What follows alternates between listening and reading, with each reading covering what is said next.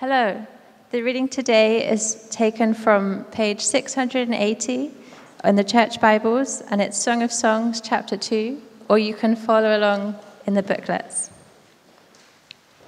So, chapter 2 She. I am a rose of Sharon, a lily of the valleys.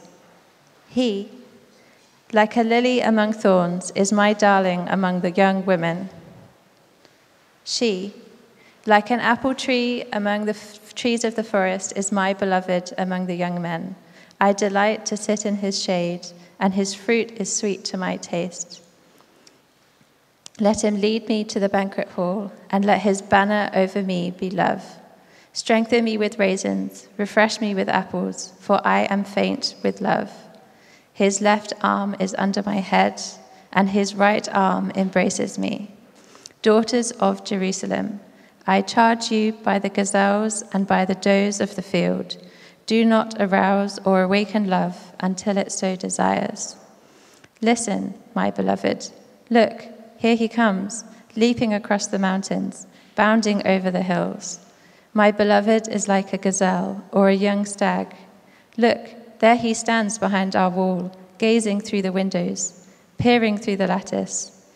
My beloved spoke and said to me, Arise, my darling, my beautiful one, come with me.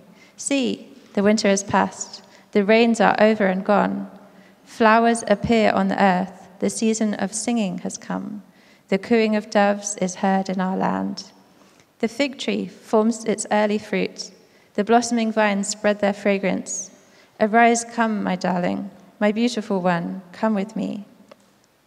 He, my dove in the clefts of the rock, in the hiding places on the mountainside. Show me your face, let me hear your voice, for your voice is sweet and your face is lovely. Catch for us the foxes, the little foxes that ruin the vineyards, our vineyards that are in bloom. She, my beloved is mine, and I am his. He browses among the lilies. Until the day breaks and the shadows flee, turn, my beloved, and be like a gazelle, or like a young stag on the rugged, hills. This is the word of the Lord.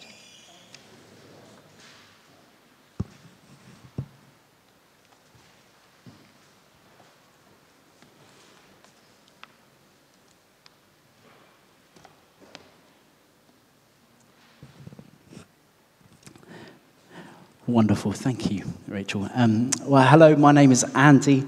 I am uh, a new member of the team here. I am one of the uh, associate vicars, and uh, particularly warm welcome if you're new, if you're visiting, as if someone's invited you along. We're so glad that you're here. Um, I wonder if you would think about some famous couples in, in our world. You know, those, those famous couples, I wonder who would come to mind. People like maybe Romeo and Juliet, maybe um, Prince William and Kate, maybe David Beckham and Victoria Beckham, Posh and Becks. I'm going to show my age. Maybe Ross and Rachel from Friends. Um, maybe Homer and Marge from The Simpsons. Maybe more like Homer and a donut and his love for that. Um, Jack and Rose from the Titanic, Mickey and Minnie Mouse. I wonder if you think about these relationships, these romantic couples that go together, and then if you take a step back and reflect and ponder about your relationship with God. I wonder if you would see it in that way. Is it, is it a love affair, a, a romantic relationship? Or maybe you'd see more as that relationship between a father and a child. Or maybe it's more like a friendship. Or maybe a kind of a satisfactory working relationship.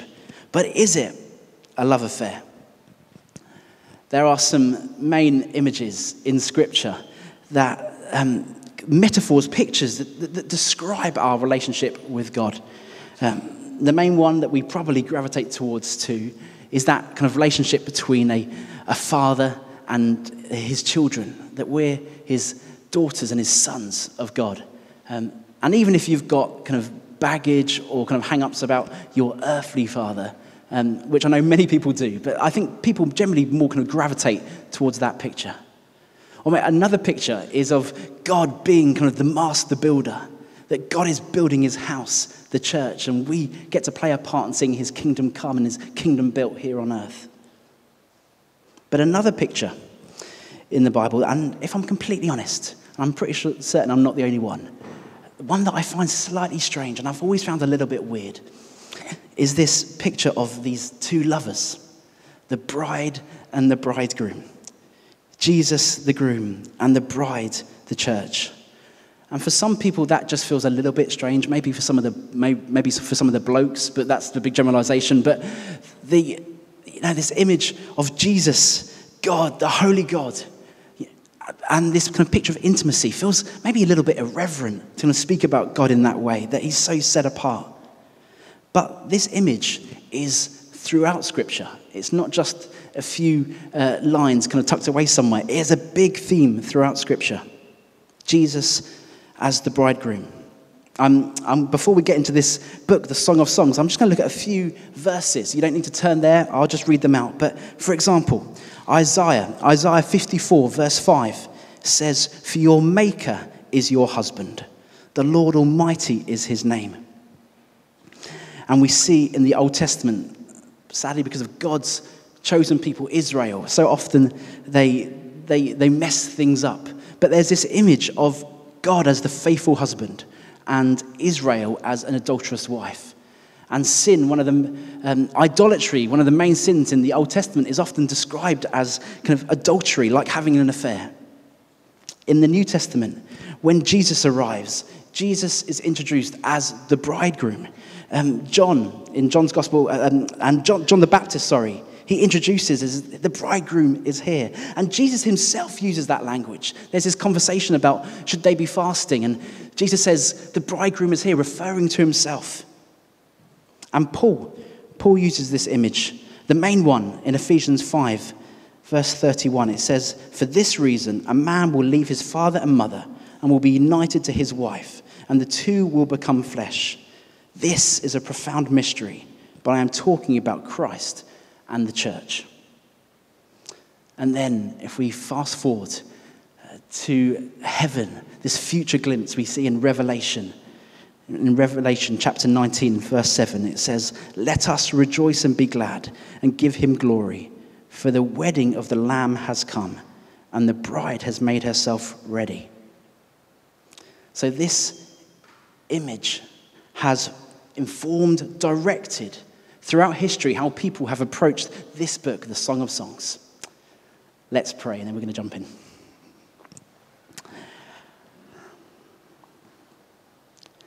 Father, we thank you for your word. Lord, we thank you that it, it is alive and active and it speaks today. And Lord, it both comforts and it challenges. Lord, will you speak to us now? Lord, we we want to, we need to hear your voice. In Jesus' name, Amen. So, the, the Song of Songs, a well known but not so well understood book of the Bible. It's, it's eight chapters of love poetry. And you'll see from uh, the, the graphic before you, the illustration, that on the left there's the introduction, top right corner is the conclusion. And but it doesn't have any kind of rigid kind of literary design. Um, because it is, it's a collection of poems. And it's not supposed to be dissected or taken apart. It's meant to be read as a flowing whole and, and simply enjoyed. The first line of the book t- tells us that it is the song of songs. This is a, a Hebrew idiom um, like the King of Kings or the Holy of Holies. Uh, it's a Hebrew way of saying it is the greatest thing. So it is saying this is the greatest song of, of all songs. Then we're told in the first line that, it, that it's a song of Solomon, uh, which could mean he is the author. His name does start the book after all. But it's, actually, this is widely disputed um, because you'll discover as you read the book, the main voice is the voice of a woman a maiden called the Beloved. Um, and there is a male voice, but it doesn't seem to be Solomon's. Solomon is mentioned a couple of times in the poem, but he's never the main speaker. And we also have to admit that actually he's, he's an odd candidate to be the author of Song of Songs, because we know that um, Solomon had 700 plus wives. And the book of Song of Songs, the two lovers in Song of Songs, they are the only one in in the world for each other. So the of Solomon likely means in the, in the wisdom tradition of Solomon. He was known for his wisdom, his poetry, his, his love of learning in every area of life. And so Solomon became the father of wisdom literature in, in Israel. So his legacy here is, is carried on through this collection of love poems that explores the human experience of love and sexual desire. The opening poem introduces us to the, the basic theme of the book. Uh, we hear the voice of a young woman, the beloved, who delights in her man, a shepherd. Uh, now we learn that they're not married yet, but they, they are engaged and they, they cannot wait to be together. It gets pretty heated pretty quickly. Um, from the introduction, the poems flow back and forth. Um, and from the woman's voice to the man's voice, from scene to scene, without any kind of, kind of clear linear sequence. And that's why you've got that squiggly line going through your illustration. The, the poems move in these kind of symphonic cycles, and key image, images and ideas, they get repeated and developed. So one of the basic themes uniting the poems that's found in theme one in the illustration uh, is it's the intense desire that this couple they have for one another. And it's expressed through this constant seeking and finding. So after the opening poem they're separated but they're on the hunt for one another. Um, so the woman calls out or she'll wake up from a dream. So she'll go, she'll go searching for her lover. And more than once, they'll, they'll find each other and they'll embrace. And right when things are getting pretty heated, pretty racy, pretty quick, suddenly the scene will end. Um, and the new one will start. And they'll be separated once again. And they'll go looking for one another. And it, and it goes on like this. Another repeated theme found in uh, theme two of the illustration is, is the, the joy of the couple's physical attraction for one another. Um, so, multiple times, they'll pause and they'll describe one another in these kind of elaborate metaphors. Chapter 2, uh, sorry, chapter 4, verse 1. This is one for example. It says, How beautiful you are, my darling. Oh, how beautiful. Your eyes are like doves, your hair like a flock of goats, your teeth like lambs, your neck is a tower, your lips drip honey. Um, now, that all seems rather strange, doesn't it? Um, it's really important at this point to know that these images, these metaphors uh, in Hebrew poetry are not primarily visual. If you were to paint a picture on, on these metaphors, you would um, come up with something looking very, very strange, which is that picture of that weird person, uh, that kind of that, that graphic. So you'll read through these kind of poetic cycles, and the tension will keep building. Their desire and joy and attraction this kind of spiraling repetition is, is a way of heightening and focusing on the mystery and the power of sexual love. It all comes to a conclusion, uh, which pauses to summarize um, what the poems are all about. So in chapter 8, chapter 8, verse 6, it says, Love is as strong as death. Its passions are as severe as the grave. Its flashes are a fire, a divine flame. Many waters cannot extinguish it, rivers cannot sweep it away. If one were to give all wealth of one's house for love, he would be utterly scorned. The, the poems highlight the, the power and intensity of love. It's, that it's both beautiful but, but also dangerous. Like fire, love can destroy if it's abused, but also it can be life giving if, if it's protected and in the right containment. Ultimately, love expresses the insatiable human desire to be known, to know, and to be des- desired by someone else. After this, there's this odd poem about Solomon trying to do what the previous poem said was impossible, and that is to buy love. The woman rejects Solomon's offer. And then the book concludes with the man and the woman once more. They're separated, searching for one another on the hunt. He calls to hear her voice. She begs him to run away with her. And then the book ends. Very open ended, very abruptly. Just, yeah, totally open ended.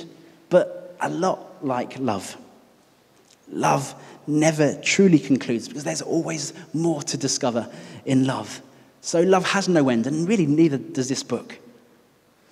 Now, throughout history, the big question has been about the Song of Songs is what on earth is love poetry doing in the Bible?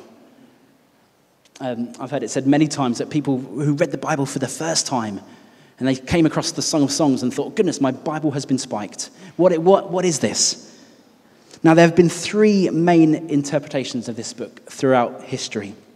Number one, in Jewish tradition, in Jewish tradition, it's been read as a, an allegory. So each character is a symbol. So the woman is Israel, uh, the man is God, and the love is a symbol of, of the covenant between God and Israel uh, at the giving of the Torah at Mount Sinai. This f- flowed into Christian tradition, um, but the characters were swapped. So it's about Christ's love for his people, the church. And this uh, interpretation was inspired by Paul's words uh, in Ephesians 5, which we read at the beginning. So the Christian's husband's love for his wife is a symbol of Christ's love for the church. Now, the interesting thing is that in the last 100 years, um, archaeological discoveries around Israel's um, ancient neighbors, so that was um, Babylon and Egypt, um, has brought up, turned up all kinds of ancient love poetry, which is very similar in language and style and imagery to the Song of Songs. We see that love poetry was a, a meaningful part of Israel's um, cultural environment. This has led most scholars today to view Song of Songs of, as what it presents itself to be an arrangement of uh, ancient Israelite love poetry, reflecting on the divine gift of love. But that doesn't mean that it's only ancient love poetry. There are key features in these poems that, that sticks out when you read them as a whole, of, as part of the Old Testament. There's this overwhelming use of garden imagery. There are pa- powerful echoes of the Garden of Eden, this idyllic scene between the married couple in, in Genesis. So, the image of the man and the woman, both naked and vulnerable, but united and safe with one another.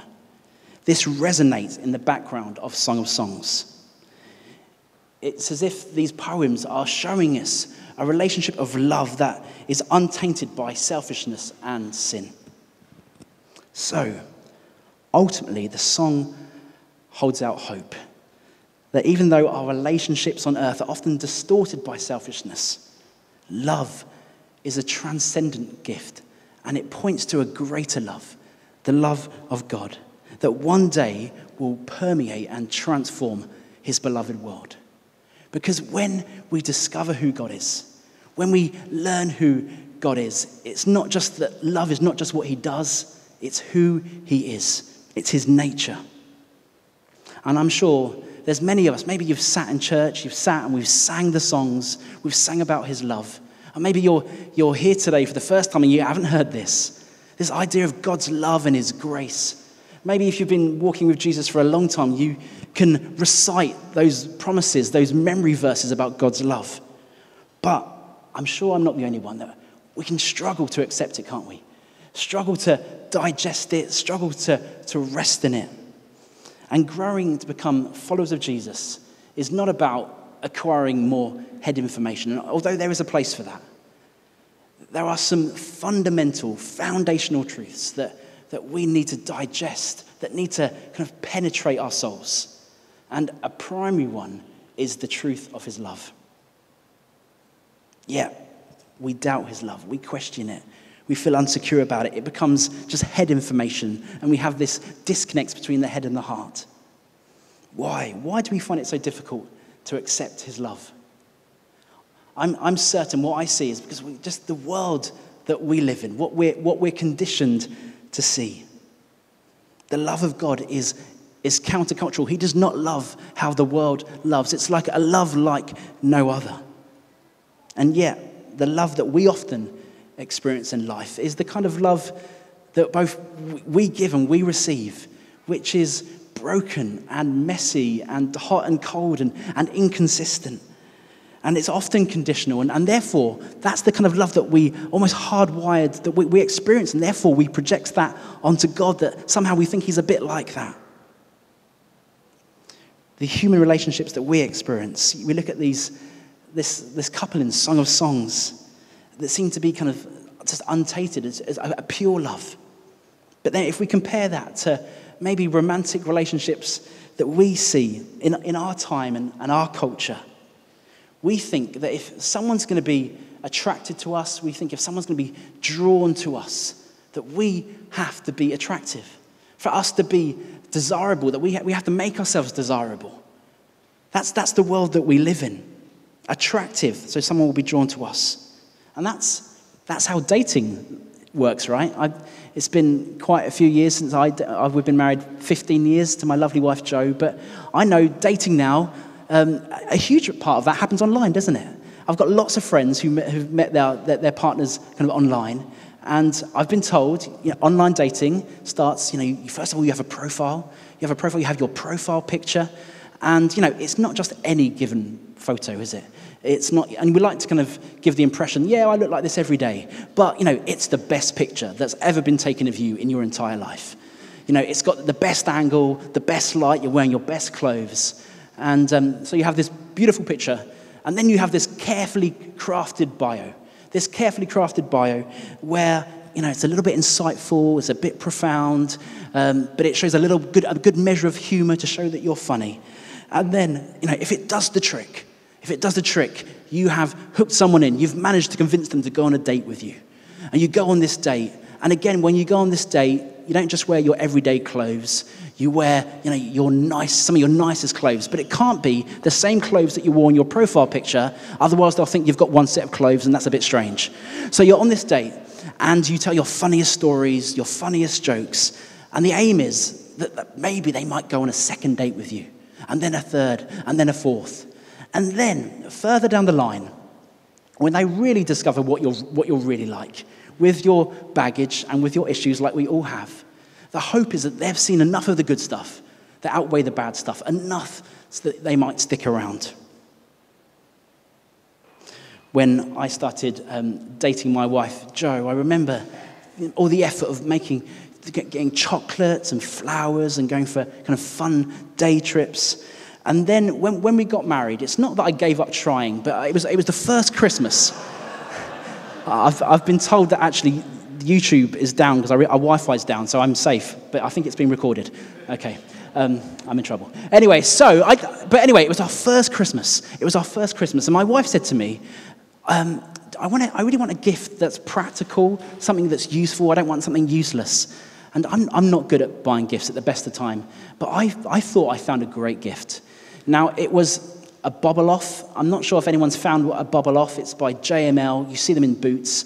It's one of these little shavers that shaves your jumper. When you have these little bubbles on your jumper.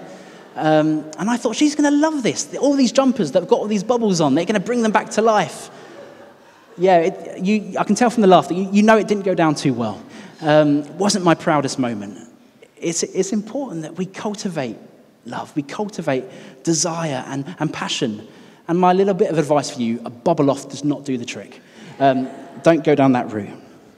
But we think, we think that we have to be attractive, to be desirable, we have to, we have to make ourselves attractive. And then when we get it wrong, when we mess things up, that we distance ourselves. So, one, the love that we we experience, that conditions us. Because God's love is so different than that. It's, it's a love like no other. So we're conditioned by the world that we live in. But secondly, there is an enemy who is actively questioning. He loves us to doubt his love. The enemy that will, will those little whispers in our ears that say, Really? God loves you? How, how can God love you when you, you've done that? When you've done that in the past? How can, how can God love you when you, you think that, when you think those thoughts? He can't love you. Or maybe when we face hard times, there's challenges, and, and he whispers to us, Really? If, if God loved you, he wouldn't allow this to happen to you. The enemy is constantly bringing it into question. He loves to remind us why we're unlovable. I remember my one of my first girlfriends when she came around my house for the first time, and I didn't want her to get the impression that I was an absolute slob. So I tidied my bedroom. I remember like chucking things under the bed, chucking things in the wardrobe, putting out a Bible so she'd think I was really holy, and then, you know, thinking that she might be attracted to me. But, and we can think that God's like that, that we have to make ourselves desirable, that we have to have it all together. And we go on this dance that when we've done well, when we're, when we're doing okay, we're okay about being in His presence. But then when we've messed up, we've made some big mistakes, we flee from His presence until we can make ourselves acceptable again. And doing that, we miss the heart of the gospel. We miss the heart of the gospel. Like, really? I have to make myself acceptable for God to desire me? I have to make, myself right that He will be drawn to me? That I have to be on my best behavior so he will stay close. That is not what Jesus accomplished at the cross. We're going to be sharing communion later where we remember that, that Jesus, he laid down his life for us. He laid down his life and he paid for all the wrongdoings that we have done wrong. And he's not saying, I will do all that. I'll pay for all your wrongdoings, but first, you need to get yourself sorted. You need to get yourself sorted and get it all together. And you have to be on your best behavior for me to stay close. That is not the gospel. God knows that our lives are messy. He knows that our lives are messy. He knows that our thoughts, our minds are broken, are corrupted. He knows that our houses are not clean. There's no hiding things under the bed from Him. It's not news to Him. He knows our flaws, our mistakes, those things that we have done wrong, that we're so ashamed of, that we can feel so guilty about, we're so embarrassed about, they are, it is not news to God. He's not surprised by that. And yet, knowing all the mess, knowing all of that mess, He is not running away, He is running towards. He runs towards us, He pursues us. Because here's the kicker He desires us, He desires you. He desires me. He is drawn to you. He is drawn to me. My friend Andy uses this picture. Imagine this. Um, two, there's a, a couple, a couple who uh, they're due to get married, and the, the, the, woman is royalty. She is a queen. Uh, she has power. She has position. She has wealth. She has her name. And then there's the man, and the man has had a messy life. He's got debt, he's made some serious mistakes, there's consequences to those mistakes. And yet, they love each other. And on their wedding day, they come together and they tell the promises that, that all couples, the, the, these vows, and she says, All that I have, I give to you. All that I have, I give to you. All of my power, my position, my wealth, my name. And then he comes and he says the same thing back. All that I have, I give to you. All of my mess, all of my mistakes, all of my debt, all of the consequences. And that is the beautiful exchange of the gospel. The beautiful exchange that he clothes us in righteousness. We're in this wedding season, aren't we? And uh, uh, as a vicar, sometimes I get the, the privilege of doing, uh, doing weddings. And there's this point in the ceremony where um, you've made, the, the, the, couple have made the vows, and there's been the declarations, uh, and there's been the, the proclamation of the husband and wife. And it's an amazing celebration, isn't it? It's not just a celebration of the love then, it's, it's of future love. We're celebrating the future love, these promises that have been made. And there's this point after this, the, after the proclamation, where the, the, husband and wife, they join hands together. And if the vicar is wearing uh, robes, he's wearing a, uh, they're wearing a stole. A stole is like a vicar's scarf. And in that service, that's the point where the vicar will wrap the stole around the, the hands that are joined. And he says this, he says, those whom God has joined together, let no one put asunder. Kind of saying, no one separate this. No one mess with this. No one get in between these, this couple. And we have a God who, through Christ, the bridegroom, is not just saying, nobody mess with this, nobody get in between this. He says, no one can mess with this, no one can separate this. Romans 8 35. Nothing can separate us from the love of God. He loves us, He loves us, and He's not going to stop. And yet we doubt it, we question it, but He loves us. When my kids were young, I'm, I'm coming towards the end because um, I've gone over time. Um, when my kids were young, I've got, I've got two daughters and I've got, got a third on the way. Um, but when my, when my girls were about three, kind of four or five, that kind of age, if we were going somewhere like the shopping centre or maybe going, you know, crossing a, a, busy road or, go, or going swimming or going to a fair, somewhere where we might become separated, particularly if we were crossing a road, I would, I would say to my girls, guys, it's really important that you hold daddy's hand. We, I, I, don't want to lose you. Let's, we're going to hold hands. And because kids are kids, of course they get distracted. And if for some reason they would let go of my hand, I was not going to let go. I was not going to let go. Why? Because the, the strength of that union together was not coming from them. It was not coming from them, it was coming from me. I am not going to lose my kids. And if I'm like that with my kids, how much more is God that with us? He is not going to let go. And when we mess it up, when we, when we fall short, when we do things we shouldn't have done, He doesn't run away, He runs towards. And God, he, He's I used to have this narrative over my head that I thought, I heard it so many times that God loves broken people. And that is true. Please do hear that. God does love broken people. Even though we mess up, He loves broken people. But I kind of thought that was all, like my identity was that I was broken. When I introduce my wife and my kids to people, I don't say, hey, this is my wife and these are my kids, and they're broken. You know, they've got all these problems and they've got all these flaws. Yeah, in spite of that, I love them anyway. That would be a quick way for me to spend a month on the couch. Um, I, I don't tolerate my children.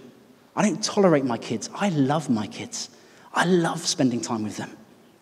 And when we get that, when we rest in that, when we digest the love of the Father, that He pursues us and He desires us, that can transform everything. I finish with this Song of Songs 2, verse 10. Imagine God speaking this over us my beloved spoke and said to me, Arise, my darling, my beautiful one. Come with me. See, the winter is past, the rains are over and gone. Flowers appear on the earth. The season of singing has come. The cooing of doves is heard in our land. The fig tree forms its early fruit. The blossoming, blossoming vines spread their fragrance. Arise, come, my darling, my beautiful one. Come with me. The world is desperate to know this type of love. God speaks over us Arise, my beloved. It's time to rise up. We are his church. We don't go to church, we are the church. And he says, Rise up, my beloved.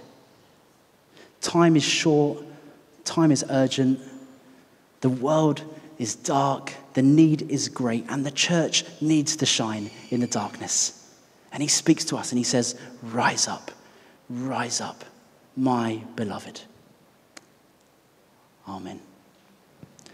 Amen.